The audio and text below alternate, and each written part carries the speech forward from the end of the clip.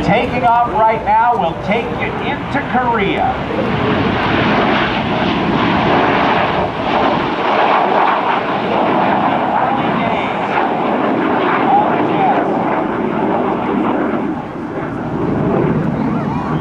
And one of those aircraft is built by North American Aviation and put a second seat in it and made it the T-33, the first jet trainer that the, uh, that the Air Force ever used. So when I say F-80 Shooting Star or T-33 Shooting Star, it's basically the same airplane, just a little bit longer. And uh, as we set up for that, if you'll look to the right, you'll see him coming in once again.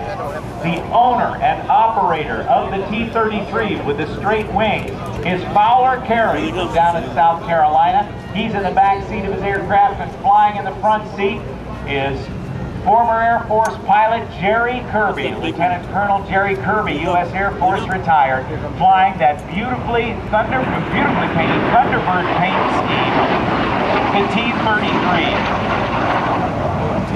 And in the swept wing F-86 Saberjet, with that very, very special paint job on it, is Dale Snort Snodgrass, United States Navy captain, retired test pilot. He grew up on Long Island, New York. He was a biology major at the University of Minnesota and also an all-American member of the swim team there.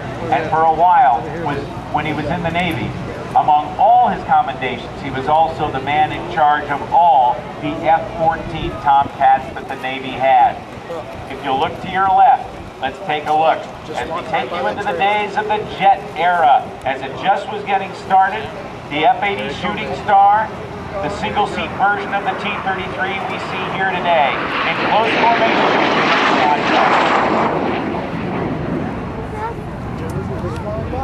This is all the history of the jets. When they first came out as The T-33 was powered by Allison J-33 turbojet Right engine. here, they, they A pick straight jet. No, I didn't see As it. Yeah. It's a delay. we will see those aircraft with the afterburner, a fifth stage of the jet engine, and that's by pouring raw jet fuel right into the exhaust, you actually end up with a fifth stage to get the airplane going very fast. Right over there, the aircraft coming in, watch them, they cross, watch them. The pole, and it'll say, and roll.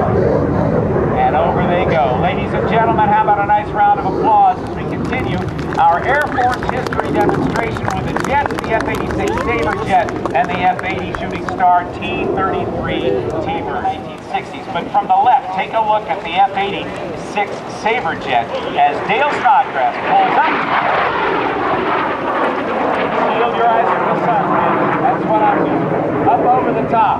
Climbs to almost 5,000 feet above the ground. And up he goes, and over the top, rolls the airplane upright from, from inverted to inverted, and pulls back on the stick, and does the loop with a roll on top called the avalanche.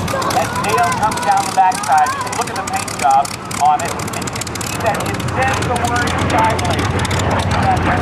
uh, most easily when he passes by at the end.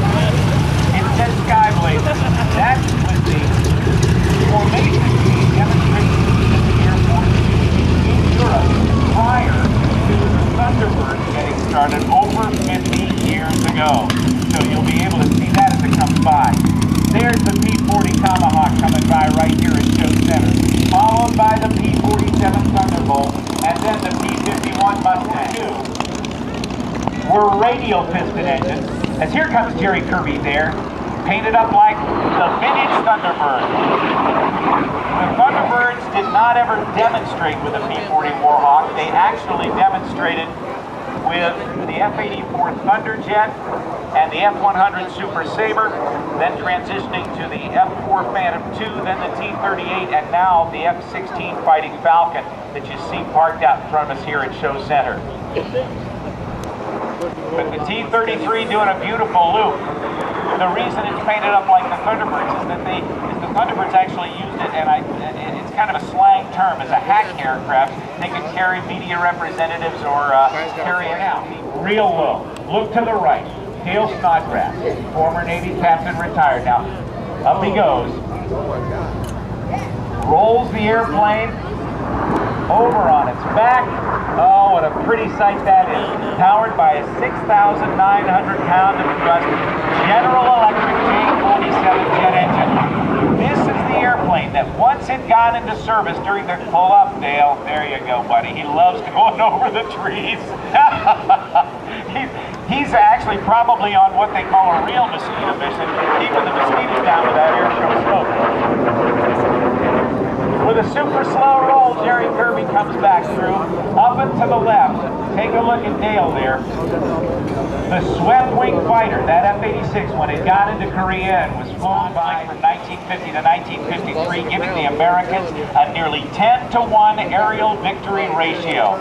There's the four-point hesitation roll by Captain Dale Snodgrass, the Skyblazers F-86 Saberjet. The F-86 was mildly supersonic in a dive, in a shallow dive that could actually break the Sabre, that the uh, sound barrier was broken in level flight by a jet. Low and to the right, here comes Jerry Kerby with Fowler Carey, the owner, sitting in the back seat. Up comes the nose, called the double aileron roll. Let's see if we go for three. Yep, he goes for the triple. And now exits off to the right. Now, let's see if we see Dale Snodgrass drag a wing right next to the ground. I think that's, I believe that's what we're going to see here. He's coming over your shoulder from the right, very low. He's got his air show smoke on. Some of you, yeah, watch this. What? Hardback, look at that. Look how low he is. Oh yeah. I hope you got some pictures of that.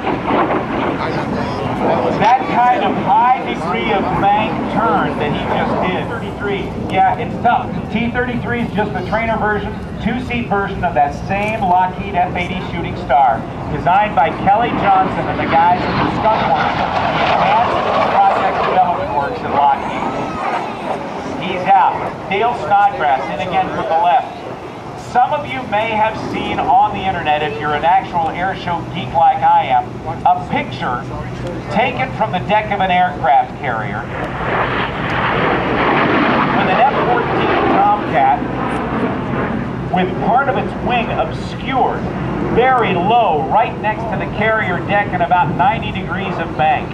Well, the caption said that the pilot was grounded for 30 days for making a pass like that.